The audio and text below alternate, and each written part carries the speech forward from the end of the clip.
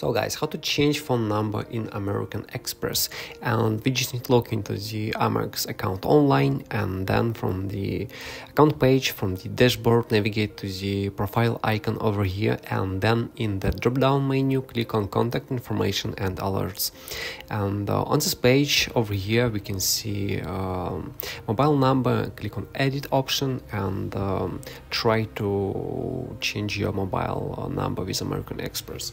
So guys, that's it. And uh, if you have some questions about your American Express, feel free to write them in the comments.